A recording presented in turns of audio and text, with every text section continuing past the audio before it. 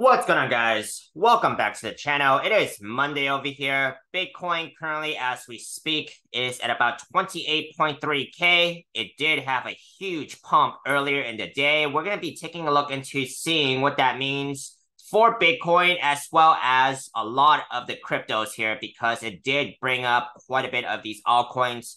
So very important to be paying attention to Bitcoin right now still because if you are long in this market, first of all, you do want to see a daily candle close above that daily 200 SMA. And then we could be talking about some other bullish case scenarios that be that could be coming up for Bitcoin as well as the altcoins here. Of course, the main topic here will be about Loom Network. Also had a huge pump recently, up to about 50 cents we let's take a look into what could potentially happen for Loom right now. Is it going to continue? What are the chances that it's going to continue, and what are some chances that it's gonna continue pulling back? Okay, so we're gonna be taking a look into some upside and downside price targets for Loom and some key price levels in order for this coin to break either direction. I'm going to be giving you guys my personal opinions and what I am personally doing in this market later in this video, so make sure to be staying around for that. Of course, none of what I'm saying here is financial advice. It's purely my personal opinions and speculations. I could very much be wrong. I am not a financial advisor or an elite trader of any sort, even though I am a profitable trader who's been able to keep most of my profits during the last bear markets. But I'm looking to crush it here for the next bull cycle. So if you guys feel the same way, if you guys are feeling pumped on this Monday morning, hit that like, hit that subscribe button. Let's get right into it.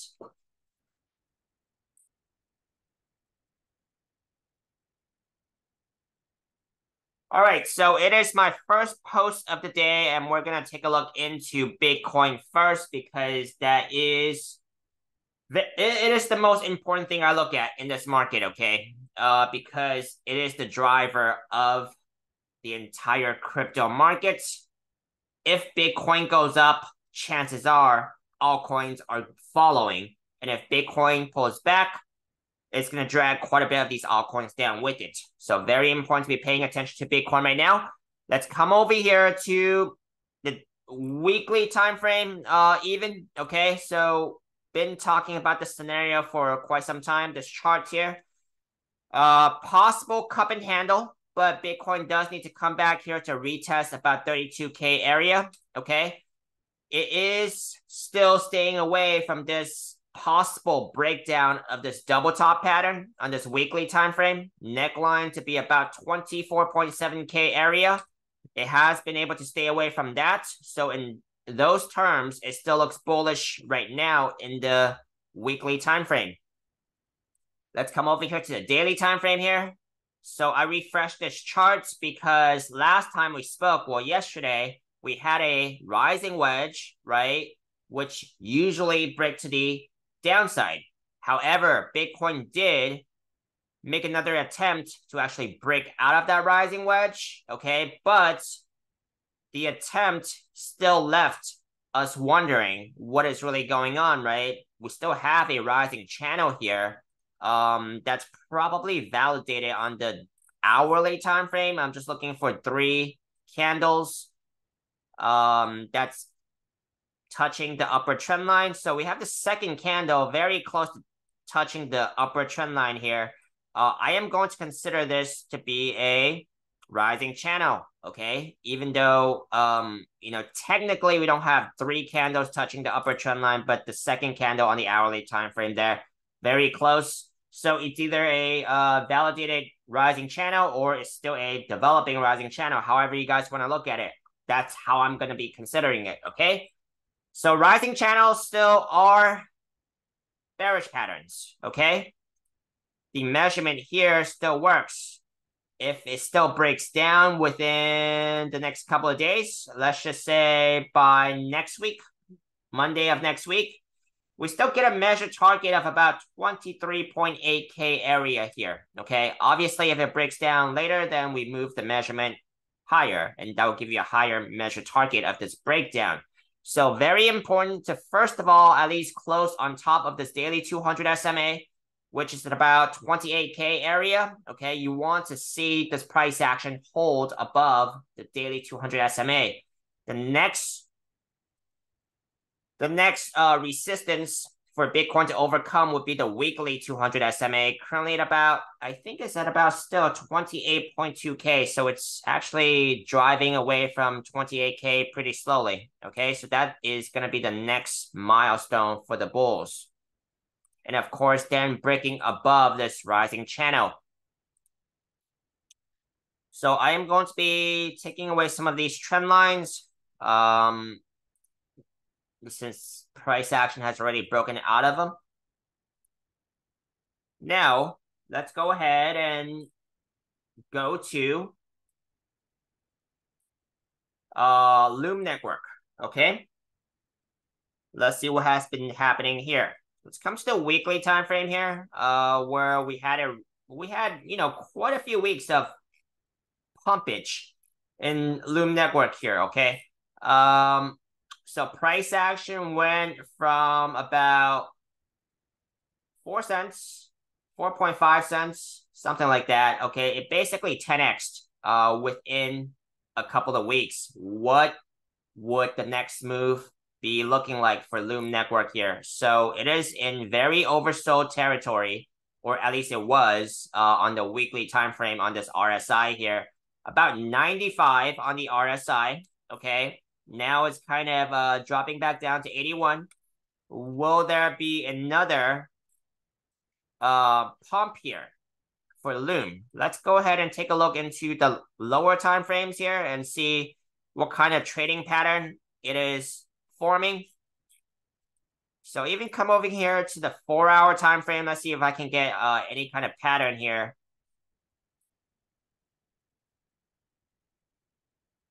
So on this four hour time frame, I think we have a small falling wedge here, which, you know, personally, I don't think, um, well, I mean, I'm not going to insert my opinion here, okay? So we have a very skinny falling wedge here, okay, on this four hour time frame. Let's even come over here to the hourly time frame here, okay, where we have a, a, a better look at this falling wedge pattern. Falling wedges typically break to the upside, okay? Usually breaks to the upside, so the probability is in favor of the bulls, but it could, of course, still break down, okay? So let's see here, we got uh one up, one down, two up. Yep, this is a validated uh falling wedge pattern. Let me see if uh, I can get three candle wicks touching. There you go. All right. There you go. That's a more um No, that's still not three candle wicks. Yeah, guys, I'm just gonna do this on the fly, so um, bear with me here. I'm gonna consider this.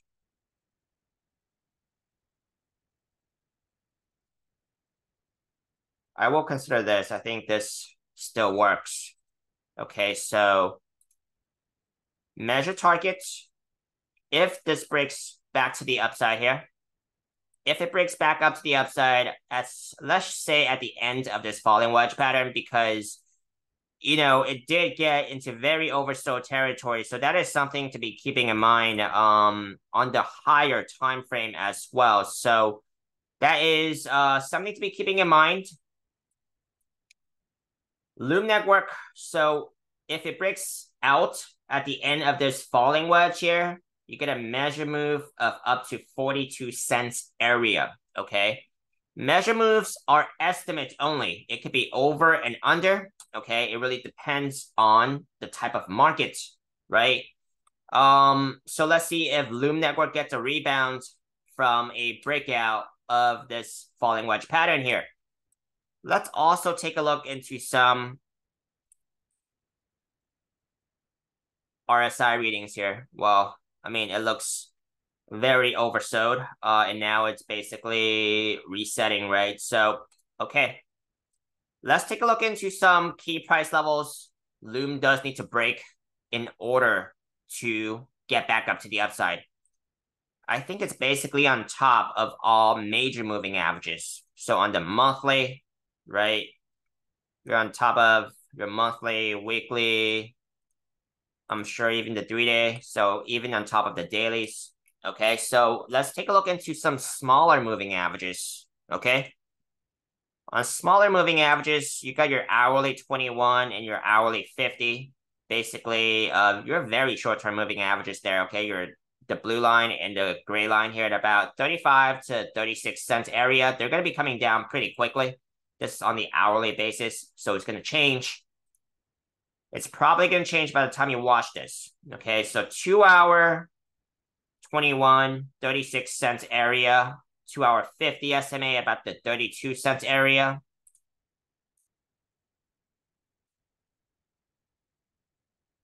Your three hour 21 SMA is about that 35 cent area. And let me go ahead and, and your three hour 50 SMA is going to be right underneath the price action right now. So could it, it, you know, could it actually get a bounce from this moving average and possibly be the catalyst of a breakout here? So um, something to be paying attention to, the three hour 50 SMA at about 28 cents area coming up.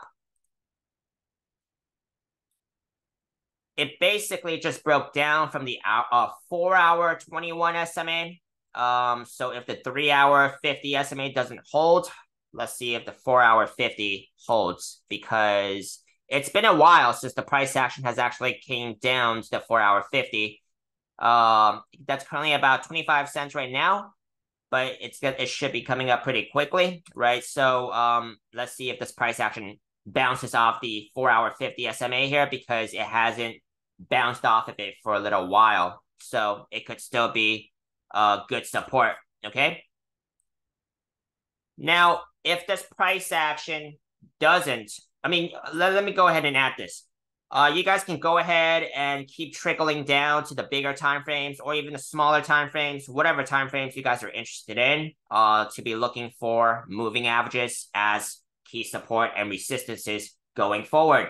Obviously, if this price action actually break down from this falling wedge pattern, which is still very possible, okay, it's just that it's smaller of a probability, then we can come back here and rechart this price action and see what's going on instead.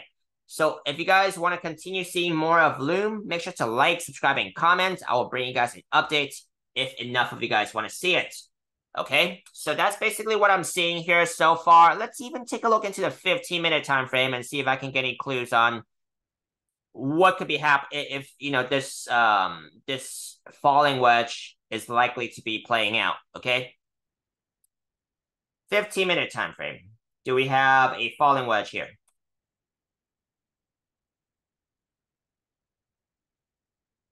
looks like we have a falling channel there uh, on the 15 minute time frame, which usually break to the upside as well. If this breaks to the upside, you take the opening of the pattern here, and then you go ahead and put it on top of a expected or future possible breakout dates. Okay. Um, that will give you a measure move if it breaks out around this point uh later today. Okay, these are 15 minute candles. That will give you a measure move of up to about a very small measure move of about 31 cents area. Let's see if uh, that would take you to the upper trend line and potentially break that uh slightly bigger falling wedge pattern there. Okay, so that's basically what I'm seeing here. Now, um, my overall opinion on this crypto market is still overall bullish because Bitcoin has been able to stay away from that double top pattern breakdown I've talked about earlier. Of course, I think this market is going to be looking a lot better if Bitcoin is actually able to close back on top of the daily 200 SMA and then the weekly 200 SMA, and then we could be looking at about 32,000 for a possible breakout there. Okay. Uh, that's my overall outlook for Bitcoin and basically the uh, uh, most of the crypto markets here because everything follows mostly everything follows Bitcoin. Okay. Um, what I'm currently doing is I am leverage trading both ways. Um, currently, so you know if Bitcoin has been in this pretty tight range, but let's see if um, it could continue here uh, on this bullish trend. Um, so this is what I'm basically doing in this market. Let me know what you guys are doing. Are you guys holding, trading? What are you guys holding? What are you guys trading? How has this market been treating you? Thank you very much, and I will see you guys on the next post.